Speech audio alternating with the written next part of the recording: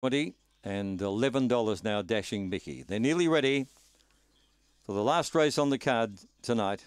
Field of five, lights on, ready to race.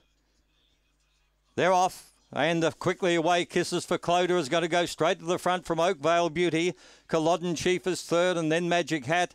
And five lengths further back on the field, then as they go to the back is uh, well out of it. Magic Hat. They go uh, rather uh, well out of it. Then Dashing Mickey down the back they go. And Kisses for Cloder by about a length. Oakvale Beauty's trying to get up on the inside there, a mile clear of it. The head of the others, Dashing Mickey running on. Kisses for Cloder went wide. Oakvale Beauty got up on the inside, is finishing too well. Oakvale Beauty by a length and a half to Kisses for Cloder, Dashing Mickey. Then Culloden Chief and Magic Hat was last in 29.90.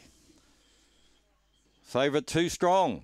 When uh, Kisses for Cloder led, looked to be a strong chance, normally a, a big finisher. But out in front, was a different kettle of fish, and Oakvale Beauty has been too good. Number one, Oakvale Beauty first. Second, five Kisses for Cloder. Third to eight, Dashing Mickey. And fourth, Culloden Chief. 446, 1690. Home in 1304. A length and a half on the line. Oakvale Beauty, a black bitch by Kinloch Brae from Oakvale Destiny.